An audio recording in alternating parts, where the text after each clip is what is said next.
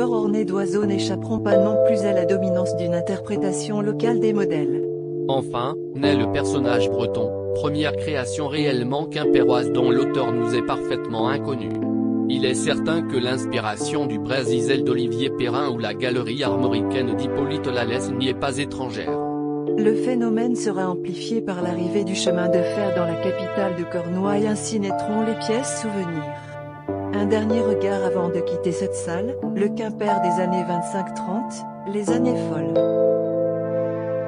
Et pour conclure quelques faïences parlantes, pièces commémoratives d'événements qui nous échappent parfois. Bien sûr sont évoqués les nombreux procès qui ont émaillé une certaine forme de cohabitation faïencière quimpéroise.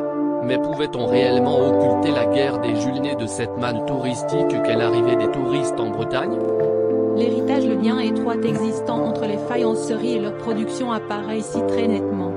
Le thème de voyage au pays de la faïence prend ici toute sa signification, de Saint-Zacharie, banlieue de Marseille, à Quimper, de Nevers, Port de Loire, au bord de l'Odette et enfin de Saint-Séverse, faubourg de Rouen à Locmaria, berceau de la capitale de Cornouailles, les styles se succèdent et les laborieux peinteurs bretons apprennent lentement et patiemment.